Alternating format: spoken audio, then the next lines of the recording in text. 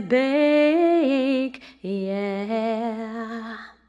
One happy birthday dot com.